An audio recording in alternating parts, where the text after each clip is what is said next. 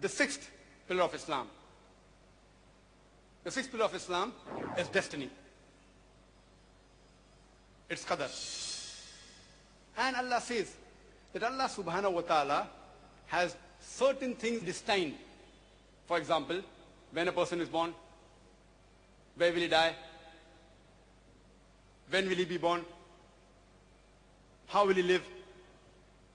Like how the questions in the examination, it keeps on changing.